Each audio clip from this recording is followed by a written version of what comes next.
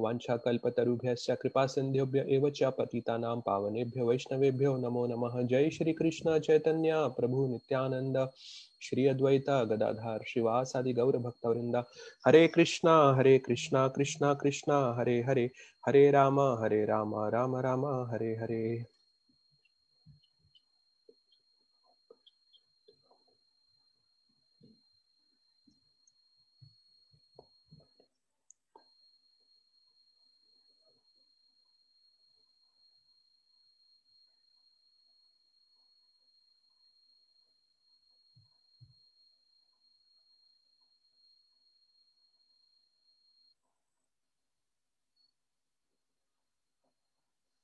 Hare Krishna. So we were discussing the 16th chapter and uh, one second, I'll just, uh, I think we covered 16.23 last time and we are supposed to uh, discuss 16.24 today. So that's also the last verse of the 16th chapter. That will bring us to the end of the 16th chapter. I think we are progressing really fast this time and we are almost nearing the end of Bhagavad Gita. So there's two more chapters to go after that. And the good news is tomorrow we have um, His Holiness uh, Jayadvaita Maharaj who will be our speaker tomorrow. So it will be a session to watch out for. So yesterday, I'm sorry, on Friday, Mataji covered 16.23, which basically says, he who discards scriptural injunctions and acts according to his own whims attains neither perfection nor happiness, nor the supreme destination. So that was 16.23. Basically, what happens is when you when you um, disregard scriptural injunctions in 16.7 already Krishna had said, pravrattim cha nimrittim cha jana janana vidurasuraha he said you know these people they don't know exactly what is to be done and what is not to be done. And you know cleanliness proper behavior and truth is never found in these people because you know they don't accept the guidance of the scripture. So building on that the next verse 16.24 basically again speaks about the authority of scriptures. So i'm going to share my screen and we can recite this verse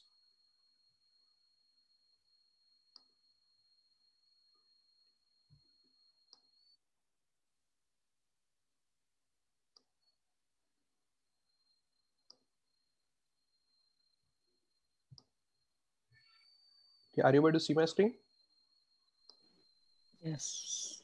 Yes. Okay, all right. So let's recite this verse. You can repeat after me. तस्मात् शास्त्रं प्रमाणं ते तस्मात् शास्त्रं प्रमाणं ते कार्यकार्यव्यवस्थितौ कार्यकार्यव्यवस्थितौ ज्ञात्वा शास्त्रविधानोक्तम् ज्ञात्वा शास्त्रविधानोक्तं। कर्म कर्तुम् इहारसि। कर्म कर्तुम् इहारसि। तस्मात् शास्त्रं प्रमाणं ते तस्मात् शास्त्रं प्रमाणं ते कार्यकार्यव्यवस्थितौ।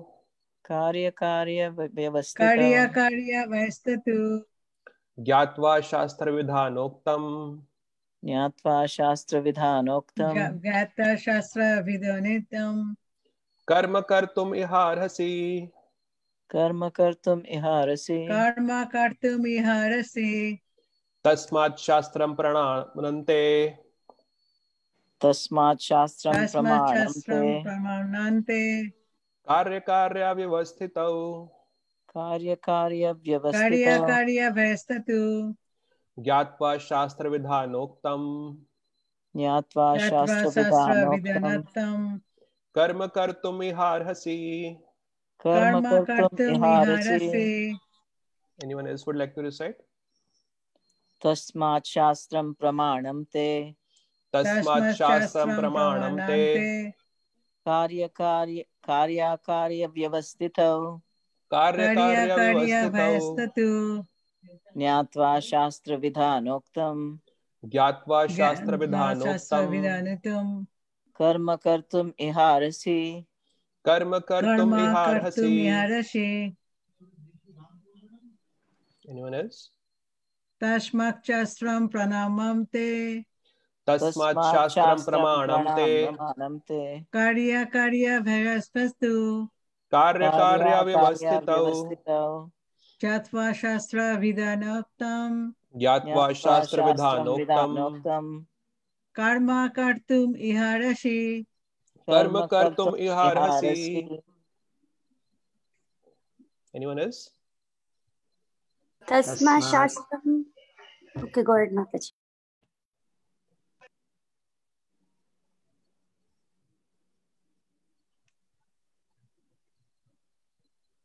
padmalochini mataji go ahead. Okay प्रभु तस् तस्मा शास्त्रं प्रमाणं ते। तस्मात् शास्त्रं प्रमाणं ते। कार्य अकार्य व्यवस्थितो कार्य कार्य व्यवस्थितो ज्ञात शास्त्र विधानोक्तम ज्ञात्वा शास्त्र विधानोक्तम कर्म कर्तुम इहर्हसि। कर्म कर्तुम इहर्हसि। Anyone else? तस्मात् शास्त्रं प्रमाणं ते। तस्मात् शास्त्रं प्रमाणं ते। ते। कार्याकार्यव्यवस्थितौ। ज्ञात्वा शास्त्रविधानोक्तं ज्ञात्वा ज्ञात्वा कर्म कर्तुमिहार्हसि। कर्म कर्तुमिहार्हसि। Okay, let's go for the synonyms. Tasmat. Tasmat. Therefore. Therefore. Therefore. Shastram. Shastram. The scriptures. The, scriptures. scriptures. Pra pramanam. Pramanam. pramanam. Evidence. Evidence. Evidence. Te. Te. Your. Your. Your. Karya. Karya. Duty. Duty. Duty. karya. Akarya and forbidden activities and and forbidden forbidden activities vyavasthitau vyavastito indeterminate indeterminate gyatva jnatva knowing knowing knowing shastra shastra of scripture of scripture vidhan vidhan vidhan the regulations the The regulations uktam उत्तम। As declared as declared कर्म work कर्तुम do इह in this world in this world अरहसी अरहसी you should you should translation and purport by his divine grace A C Bhaktivedanta Swami Srila Prabhupada One should therefore understand what is duty and what is not duty by the regulations of the scriptures. Knowing such rules and regulations, one should act so that he may gradually be elevated. Purport As stated in the 15th chapter, all the rules and regulations of the Vedas are meant for knowing Krishna. If one understands Krishna from the Bhagavad Gita and becomes situated in Krishna consciousness, engaging himself in devotional service, he has reached the highest perfection of knowledge offered by the Vedic literature. Lord Chaitanya Mahaprabhu made this process very easy. He asked people simply to chant Hare Krishna, Hare Krishna, Krishna Krishna, Hare Hare, Hare Ram, Hare Ram, Ram Ram, Hare Hare, and to engage in the devotional service of the Lord and eat the remnants of foodstuff offered to the deity. One who is directly engaged in all these devotional activities is to be understood as having studied all Vedic literature. He has come to the conclusion perfectly. Of course, for the ordinary persons who are not in Krishna consciousness or who are not engaged in devotional service, what is to be done and what is not to be done must be decided by the injunctions of the Vedas. One should act accordingly without argument. That is called following the principles of Shastra or scripture. Shastra is without the four principal defects that are visible in the conditioned soul imperfect senses, the propensity for cheating, certainty of committing mistakes, and certainty of being illusioned. These four principal defects in conditioned life disqualify one from putting forth rules and regulations. Therefore, the rules and regulations, as described in the Shastra, being above these defects, are accepted without alteration by all great saints, acharyas, and great souls. In India, there are many parties of spiritual understanding. generally classified as two the impersonalist and the personalist. Both of them, however, lead their lives according to the principles of the Vedas. Without following the principles of the scriptures, one cannot elevate himself to the who actually therefore understands the purport of the Shastra is considered fortunate. In human society, aversion to the principles of understanding the supreme personality of Godhead is the cause of all fall downs. That is the greatest offense of human life. Therefore, Maya, the material energy of the supreme personality of Godhead, is always giving us trouble in the shape of the threefold miseries. This material energy is constituted of the three modes of material nature. One has to raise himself at least to the mode of goodness before the path.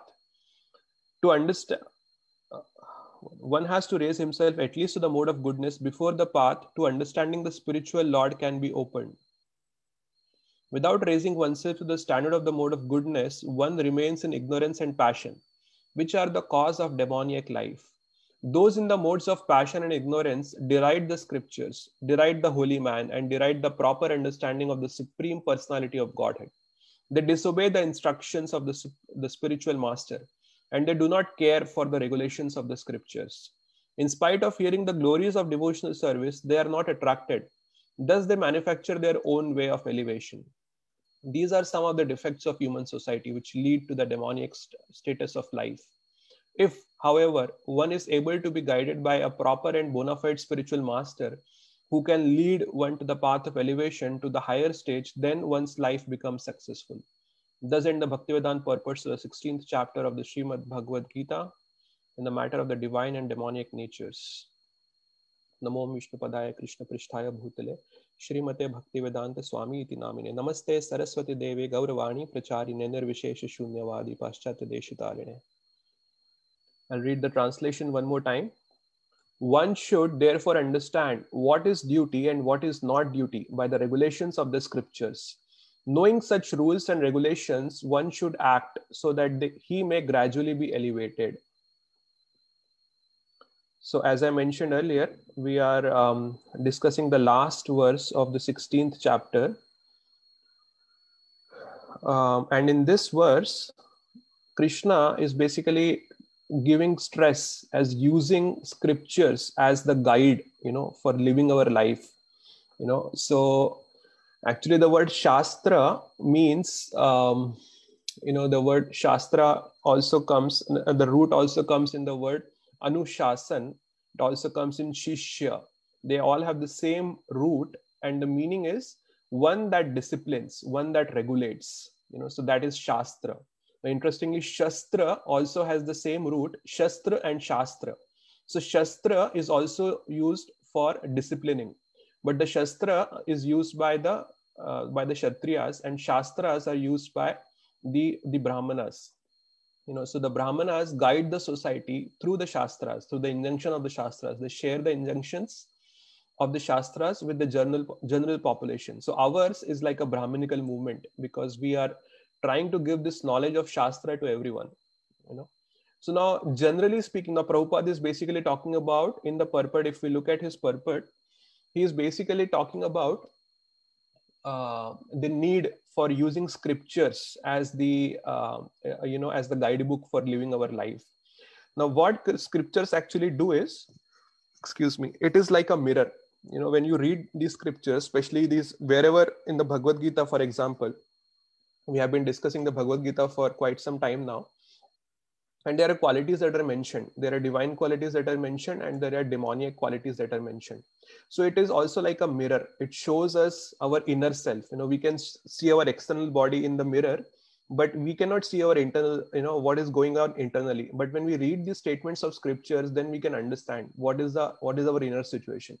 So these scriptures especially bhagavad gita it is like a mirror for our heart. We can see how what is the condition of our heart. Is it good bad ugly you know?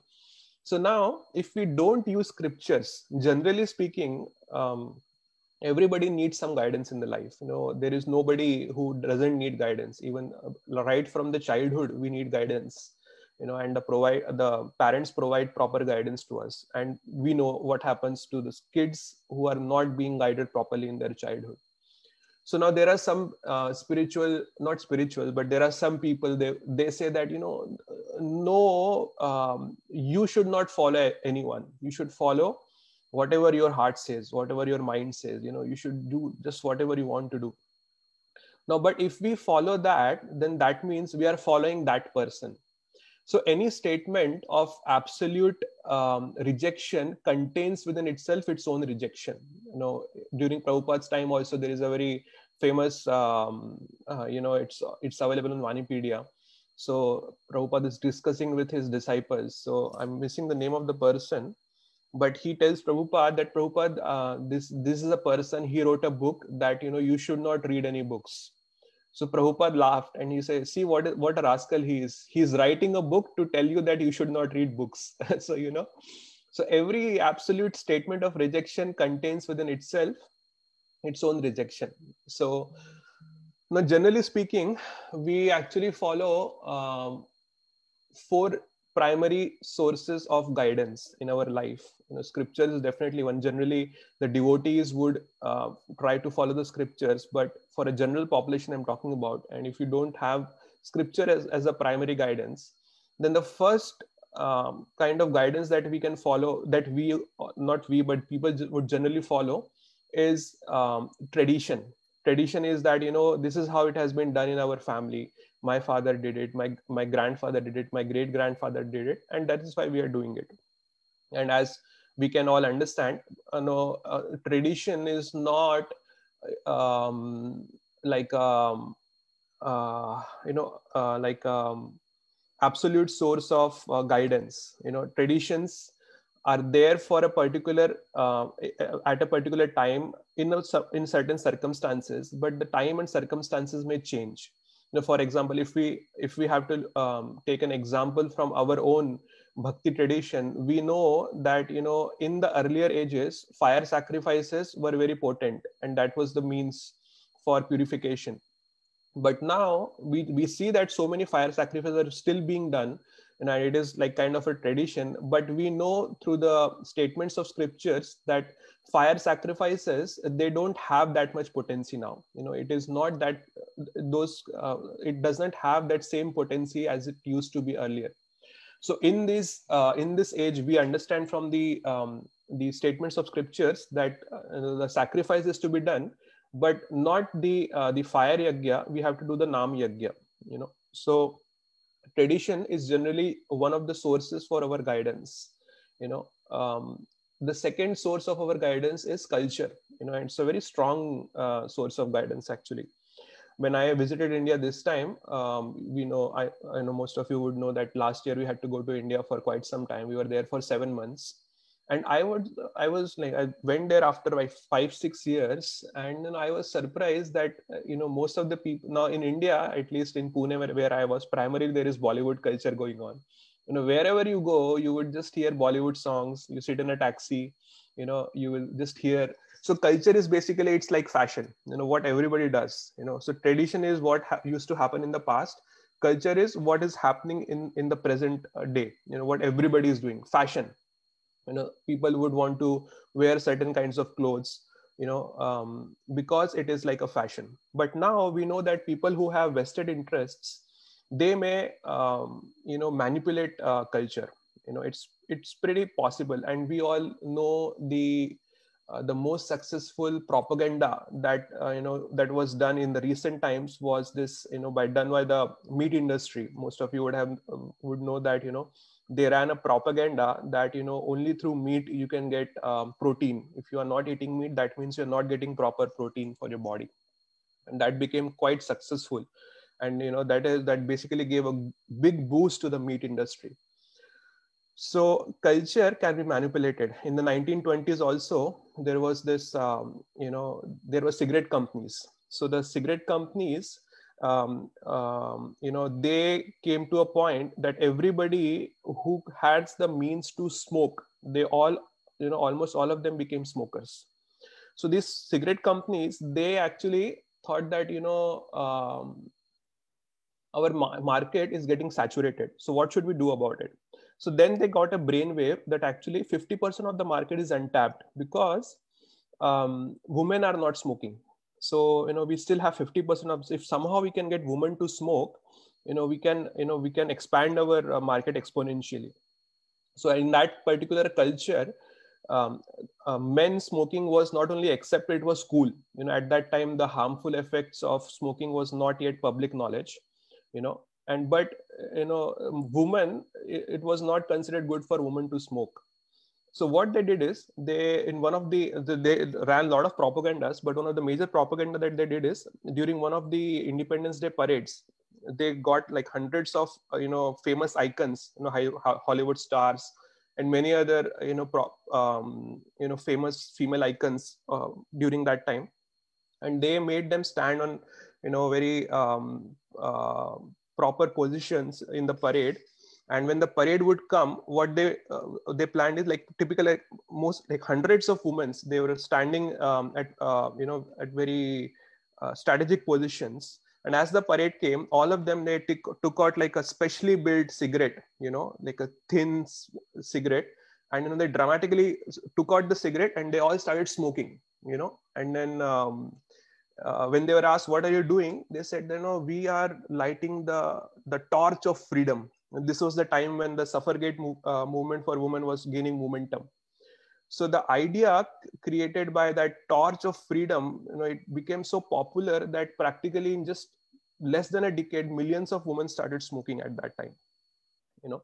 So culture actually can be manipulated by people who have vested interest. So culture is not um, like a source um, uh, so it, it cannot be like a primary source of guidance for people. Now there are some exceptions um, uh, even for traditions. Now there are certain bhakti traditions.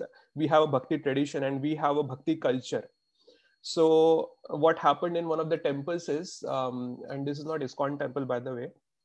This is um, the swaminarayan temple actually. You might have seen the, the pictures that are going around. So they have um, they also have krishna deities and you know what they did is they basically dressed the deities in you know very modern clothing. You know they basically um, jeans t-shirts suits ties and you know not just that they also made the deities dress up like in spider-man dress superman dress you know and then they thought that it is cool. You know why should the deities not wear the modern clothing?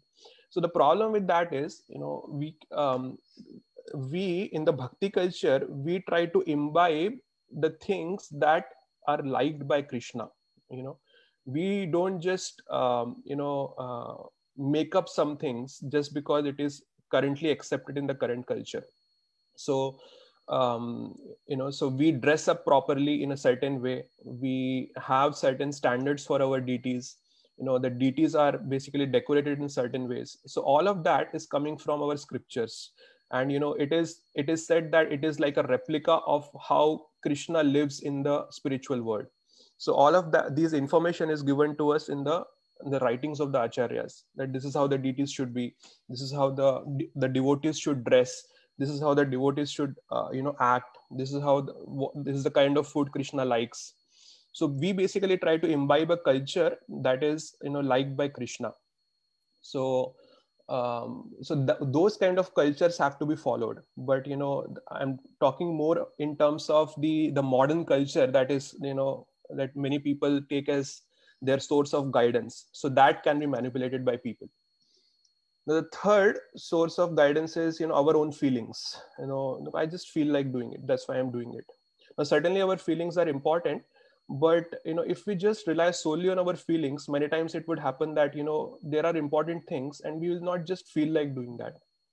You know we know all the parents would know that kids they don't want to study. You know all they want to do is play all day you know watch ipad watch tv that is how, what they want to do all day. But if we just let them do it you know they will not have any uh, you know uh, you know pro- uh, career prospects in the future. They'll just become dumb. They will just uh, you know uh, keep doing that throughout the day. So the children they are more mind than intelligence. Their mind is really developed but they don't have a lot of intelligence. The intelligence, intelligence is not yet developed. So people there are other people also like that who basically go primarily go by their feelings. So they may be biologically adults but internally they are still children. Because you know we can't just solely rely on our feelings. You know at some certain times we can we would like to do something and if we we start missing on an important things you know so that we'll see the consequences later. Excuse me. I'm going a little fast um, because uh, we don't have much time left. Fourth primary source of um, guidance is uh, uh, logic you know. We say that okay yeah this makes sense you know. So now uh, relatively speaking logic is uh, relatively better from the the other three categories. But again logic also has its own uh, limitations. First is that our own logical faculty is limited. You know we can only apply logic to an extent our own intelligence is developed. And as we know intelligence is developed by uh, by reading smriti shastras. You know that is how the primarily the intelligence is developed at least for the devotees you know. So our logical faculty is limited. And the second is we uh, analyze things we base logic on the information that is available to us at that point of time.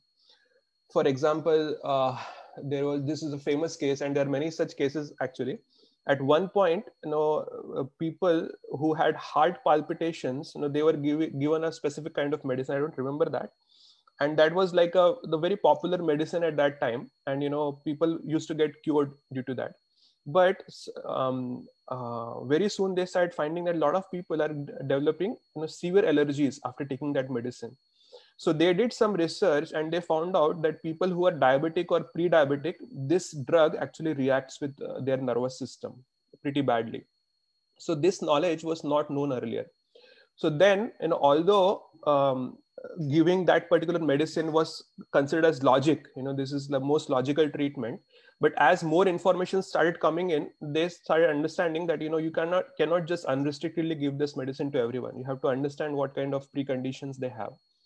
So like that logic also has its own limitation. Now i'm not saying that you know we have to completely disregard all these primary sources of um, uh, you know guidance. They are useful in their own way and uh, you know they can be used. But the point is that these cannot be the primary source of guidance. Now that brings us to the fifth category which is scripture which is what we are discussing and krishna is also talking about and Srila Prabhupada is also talking about in the purport.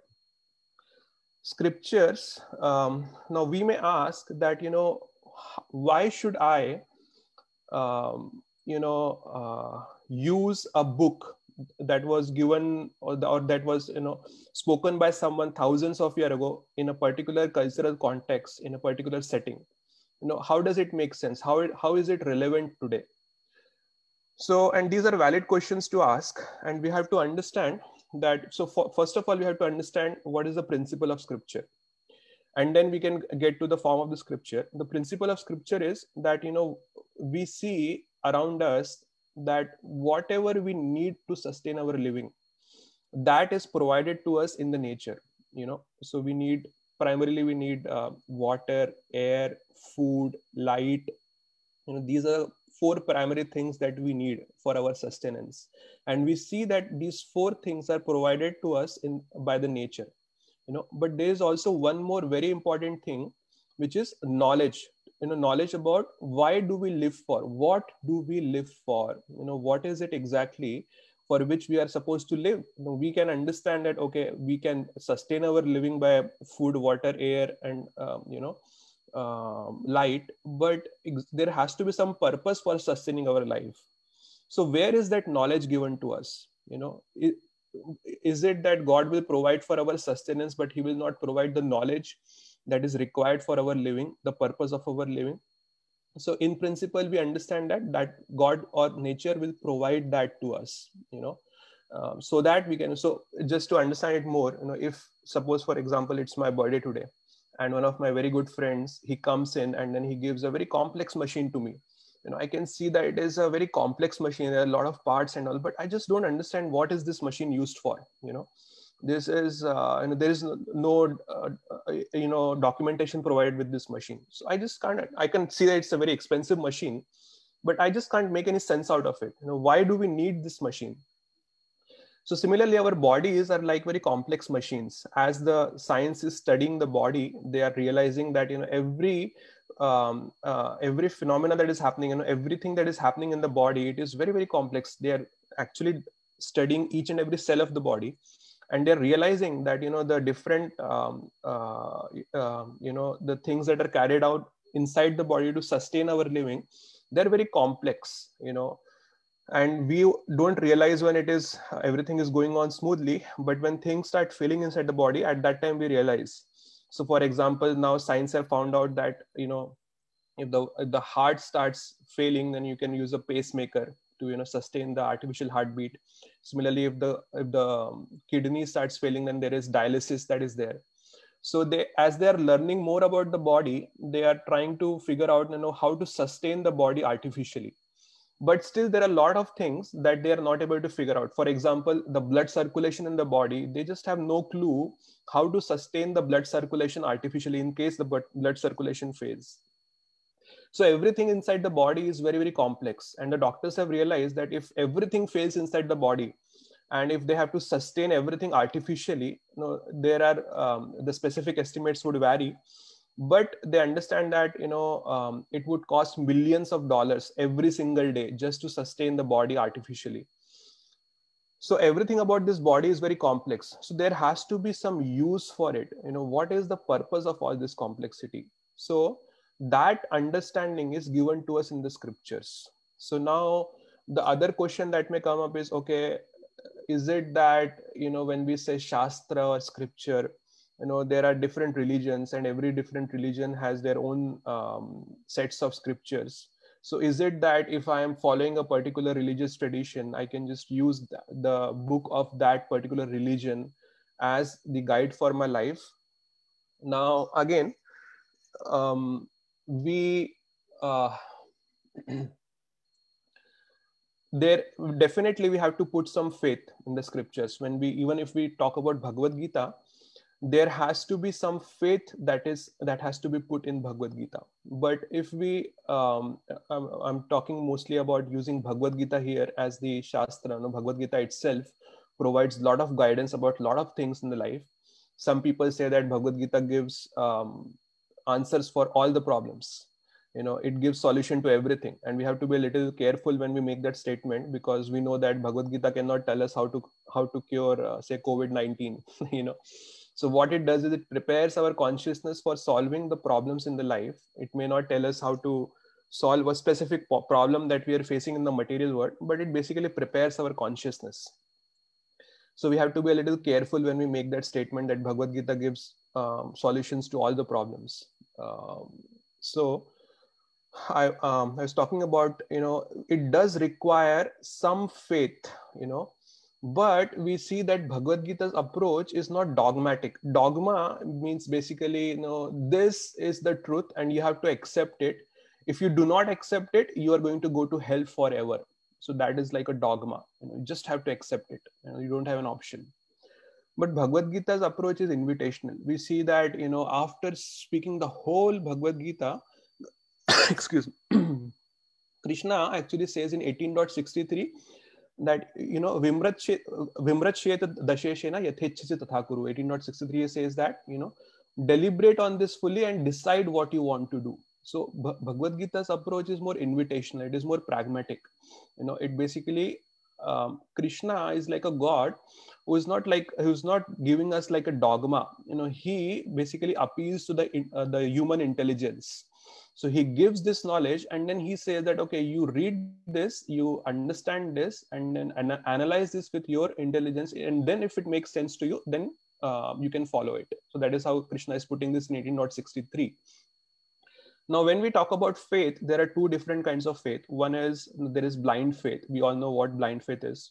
And there is reasonable faith. So reasonable faith is for example if a patient goes to a doctor you know the um, the patient has some uh, specific disease and he's suffering with something and then he wants to get cured. So he goes to a doctor and then doctor give, tells him that okay this is your um, this is your problem. This is your disease and this is your medicine if you take this medicine take this medicine twice a day for five days and you will be cured now if the patient tells to the doctor that doctor how can I, how can I have faith in you? You first cure my disease, then I will take this medicine. No, so then the doctor would say that no, you have got the things wrong. No, you have to, it is the other way. You have to first take the medicine and then you have to see that whether it basically works for you or not. So basically, we have to have a reasonable faith. So the reasonable faith has two characteristics. One is that the reasonable faith, uh, you know, it is sensible and uh, it is verifiable. Sensible means, you know, does it really make sense? So, for example, if uh, if a person has uh, like a like a severe stomach ache, and then he goes to a doctor and tells him that you know I have a severe stomach ache, and doctor you know analyzes and he says no, you have to amputate amputate your leg so then the patient would say no this doesn't make sense that the the pain is in the stomach. Why are you why do you want to amputate the leg? So similarly when we look at the bhagavad gita we have to read and you know we ha- we can read it and we can see if it really makes sense. And the other thing is does it really makes helps me make sense of my life you know? So for example when it when we learn in the bhagavad gita that we are not the bodies we are the soul you know how does it really make sense? And what does it really means to lead a spiritual life you know? Is it really possible? Can i lead, lead a spiritual life that is mentioned in the bhagavad gita? So that is like a uh, more like sensible. And then the second is verifiable. Verifiable means you know Uh, say when you take the medicine of the doctor and then you can see that okay there are these i had these problems earlier and as i'm taking the medicine i'm getting better every day. You know i'm feeling much better. And sixth day i'm completely cured. So that way you can verify the treatment given to you by the doctor. Similarly bhagavad gita also tells a lot of problems that we have and we can see it. You know we see that bhagavad gita like in this same chapter krishna had said that lust anger and greed they are like doors to hell and every sensible person will understand that both lust and all three lust anger and greed are negative qualities to have. And if bhagavad gita tells us that okay this is if you follow this then your lust anger and greed will reduce. So you can try to follow the teachings of bhagavad gita and see if really it helps you in that way or not. So that sensible that verifiability is there. Krishna himself says in 9.2 you know pratyaksha avagamam dharmyam susukham kartum avyayam so pratyaksha avagamam dharyam. It will give you direct perception. You can verify for your, you know, on your own self. Sanatan Goswami says that out of all the pramanas, ultimately anubhav, anubhav means experience. He says experience is the greatest praman. It's the greatest evidence. When you yourself see the effects of following a Krishna conscious life, you will realize that actually, yes, it does really help me.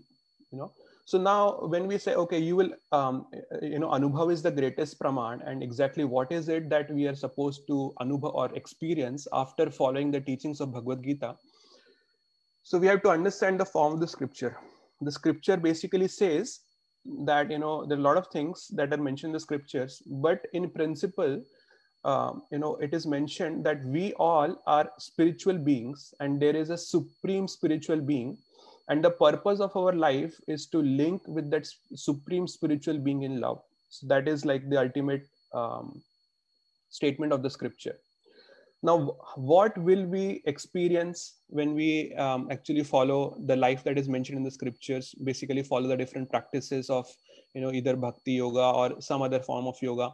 So actually in the um, bhagavatam itself in the 11th canto um, in the second chapter there is a verse.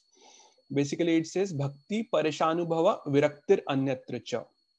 So you know the experience of god is so profound. It says par ish anubhav. It gives us par ish anubhav.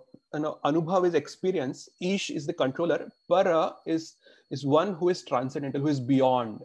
So actually bhakti will give us the experience of that supreme controller who is transcendental who cannot be experienced by mundane methods you know so the bhakti is the way to access him. So when you experience it what will happen? It says bhakti parishanubhava viraktir anyatracha so uh, it gives an example that as a person when he's hungry and he's eating food you know no one else has to come and tell that person that now you are satisfied. You know he himself will feel that okay now i'm feeling satisfied after after eating every morsel of food. It says that verse uh, in the 11th uh, canto of the second chapter. He there will be three effects. One is it says that it basically provides nourishment. He will feel nourished. You know, he will feel that his hunger is getting uh, you know satiated as he's eating more and more morsels. His hunger is getting satisfied, satiated. And third, he will feel um, you know pleasure after eating it. You know, all these three things will happen simultaneously um, this verse says. So similarly when we do bhakti you know it will basically lead to viraktir anyatracha. Means you know there there are a lot of experiences that this material world has to offer us. You know wherever we go you know we the material world is alluring us with you know different kinds of options. You know eat this drink this see this touch this buy this watch this. So um, this verse says that you know we will actually become detached. We will become indifferent to all the other experiences that the material world has to uh, offer to us. So that is like the verifiability. If so in one of the lectures i was um, it was long time back uh, in our temple itself um, a person asked Romapada maharaj that you know how do we know that we are progressing in the spiritual life and I, when this question was asked, I was thinking what kind of answer Maharaj is going to give. And actually, I really liked his answer. He said, you know, two things. He says that you can understand that you know you're making spiritual progress by two things. One is, you know, your uh, taste for spiritual things, your taste for um, chanting, your space, a taste for scriptures, your taste for kirtan is getting increased day by day. And second is you are becoming detached from the material things day by day. So if these two things are happening you can know that you are progressing spiritually. But if you if these two things are not happening then you can understand that there is something wrong. You need to do something better something more. So actually the same concept is mentioned in Shrimad Bhagavatam. At that time I have not come across this verse in Shrimad Bhagavatam, but actually this is what this verse says. So actually uh, Bhagavad Gita or any eh, eh, you know eh, itself is a scripture that can provide us guidance in our life. You know it basically as i mentioned you know it prepares our consciousness to basically face all the challenges that the life has to offer and ultimately it can also take us beyond this material world and help us to fulfill the purpose of our life. So i take a pause here and see if there are any comments or questions about what we have discussed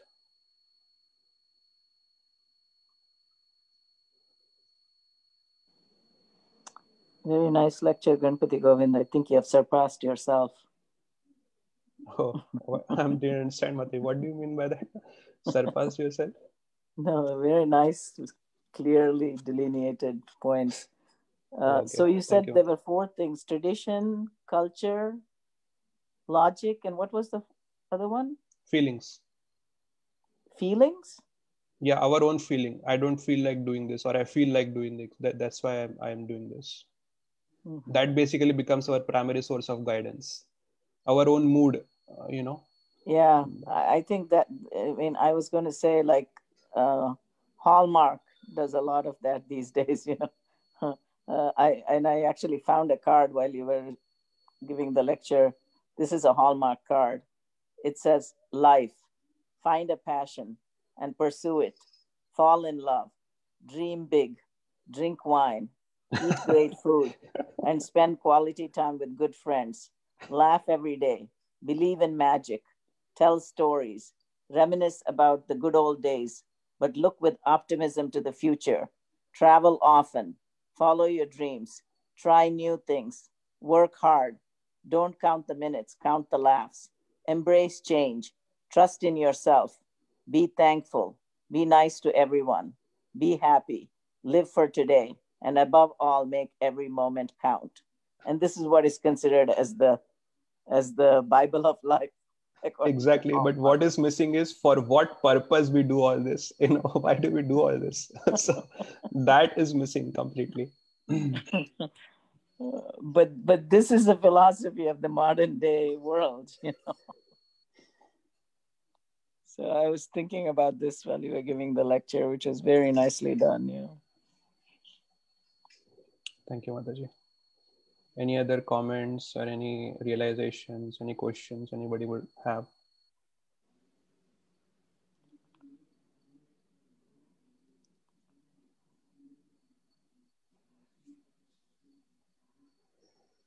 Okay. No, I, I liked what Romapada Swami is given the answer, but also Chandramauli Swami one time gave an answer when uh, Achyuta asked him, like, how do I know I am making progress in in my chanting? And he said, when you're on the 17th round, you know, and you don't realize. and you don't realize you're on the 17th round. You know, That's, that's right. when you're yeah. making progress. Yeah. chant. At least I am counting. Okay, now how two more to go, one more to go, and then yes, done. I'm done for the day. Am I done? Time to enjoy. Right. Now I can go back to do my regular stuff. So I know I'm not progressing yet. yeah. Okay, so if there are no other comments or questions, I actually wanted to share a prayer yesterday when Mataji was speaking about mind control. Uh, yesterday on Sunday, we had a nice class from Mataji, from Sundari Ra- Radhika Mataji. So basically, this is a prayer that is given in the um, in CC in Chaitanya Charitamrit in the Madhya Leela. This is CC Madhya, tw- uh, chapter 22, verse 16. So I'm just reading the translation. I'm not going to read the, the Sanskrit verse, a big verse. The translation says, O my Lord, there is no limit to these to the unwanted orders of lusty desires. Although I have rendered these desires so much service, they have not shown any mercy to me. I have not been ashamed to serve them, nor have I even desired to give them up. O my Lord, O head of the Yadu dynasty, recently, however, my intelligence has been awakened, and now I am giving them up. Due to transcendental intelligence, I now refuse to obey the unwanted orders of these desires. And I now come to you to surrender myself at your fearless lotus feet. Kindly engage me in your personal service and save me. So this is like uh, it's a nice, sobering um, verse and uh, uh, meditation that we can do in case the mind is troubling us, in case there are many material desires that are troubling us. You know, we can meditate on this and you know we can actually see if this really benefits us. I just also read the purport that Srila Prabhupada writes here. He says this verse is also quoted in the Bhakti Rasamrit Sindhu 3.2.35 when we chant the Hare Krishna Mahamantra, we are saying, Hare, O energy of the Lord, O my Lord Krishna. In this way, we are simply addressing the Lord and his spiritual potency represented as Radha Krishna, Sitaram, or Lakshmi Narayan. The devotee always prays to the Lord and his internal energy consorts so that he may engage in their transcendental loving service. When the conditioned soul attains his real spiritual energy and fully surrenders unto the Lord's lotus feet, he tries to engage in the Lord's service. This is the real constitutional position of the living entity. So I wanted to read this yesterday, but we actually exceeded the time and I couldn't read this. Hare Hare Krishna Prabhu, do you have the Sanskrit for this? Yes, Prabhu, one second. I'll share. Yeah, my can you post that? I was asking the same question, Ganpati Govind. Very second. nice prayer.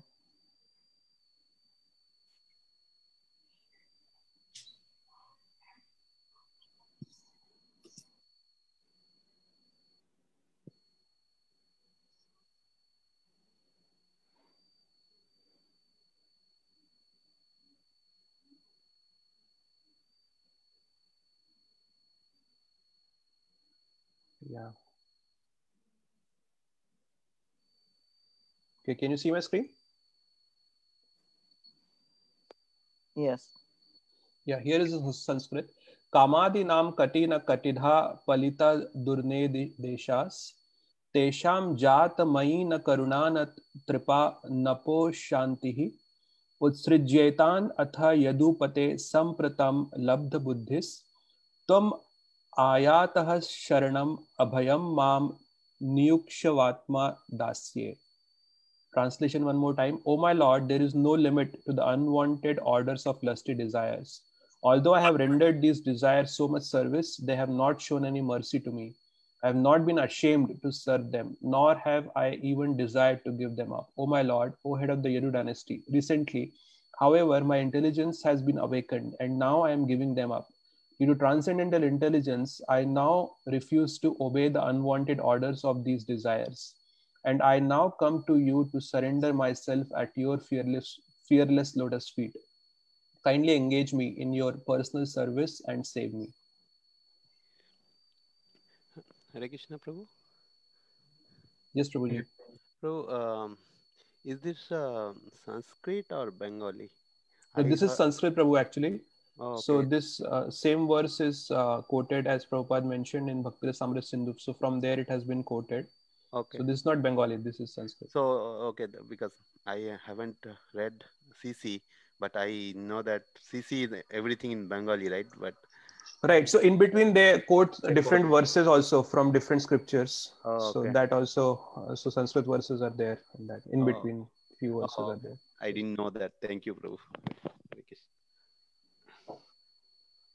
So Mataji, this is also the verse where I was talking about the word transcendental intelligence comes. Uh, Srila Mhm. Prabhupada translates this as transcendental intelligence. This is labdha buddhi, is what he tra- translates as uh, transcendental intelligence. I'm sorry, who asked that question about Sanskrit?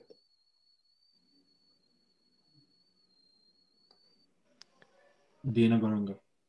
Oh, Hare Krishna. Prabhuji. I'll just post the the chat also. The-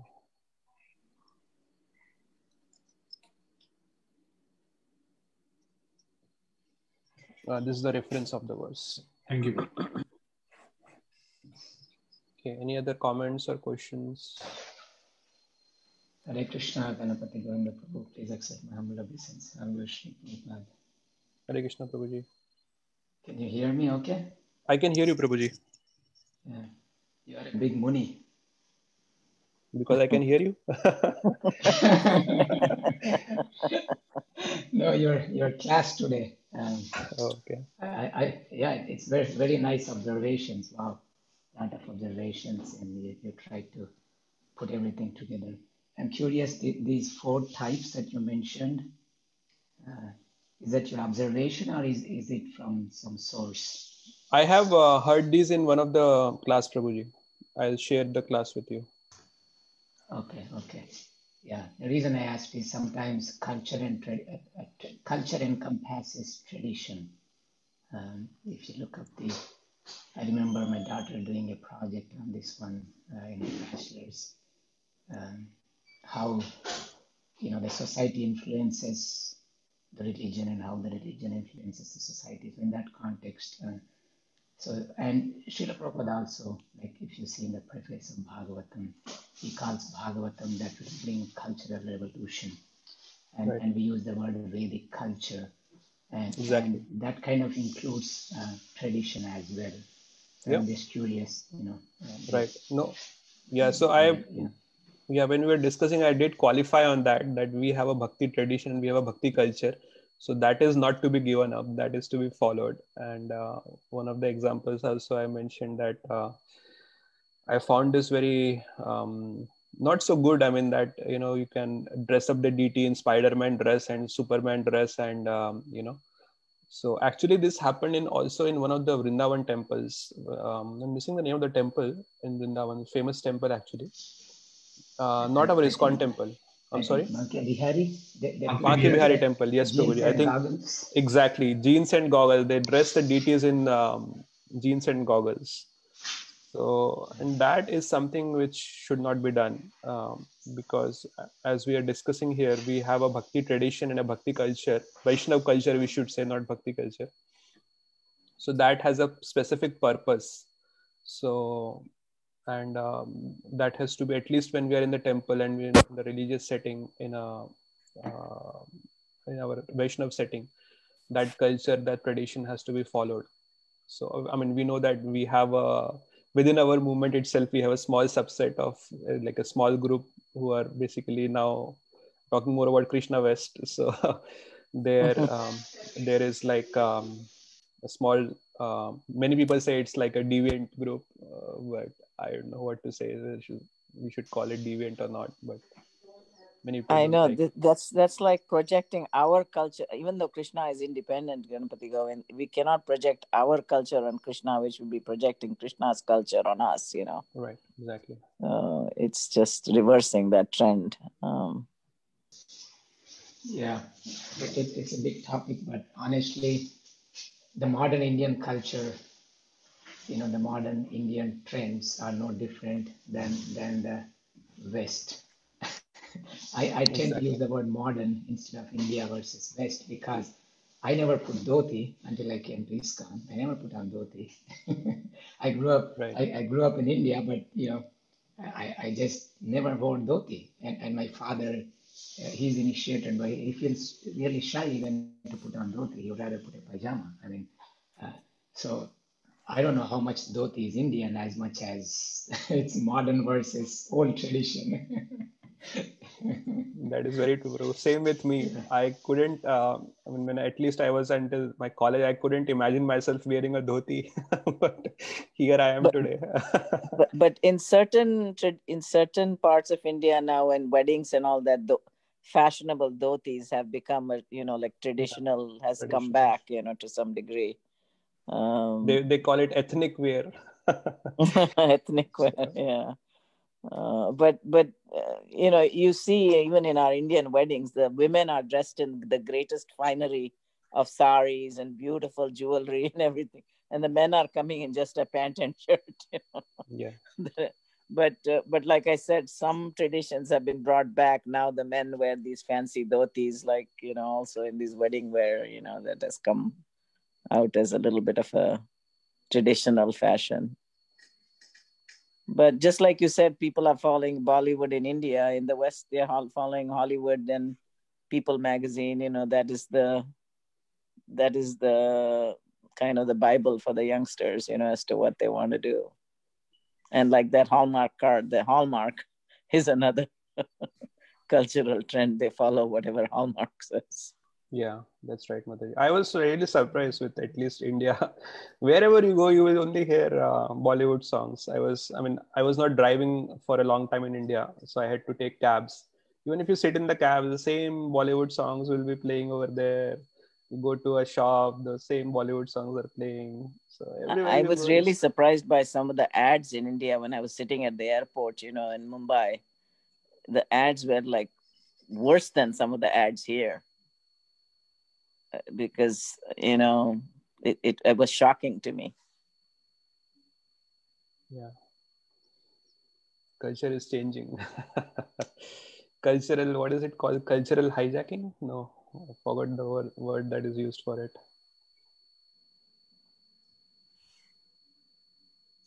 Yeah. okay. Uh, Gary Prabhu, do you have any comments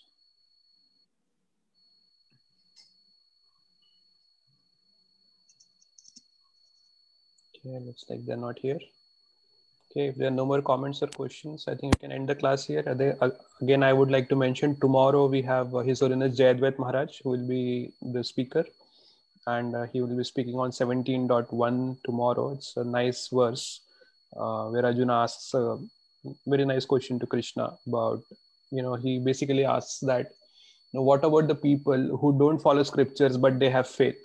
So Krishna has been talking about people who have faith and they follow scriptures. But arjuna basically puts a twist. So he says what about those who have faith but they don't follow scriptures?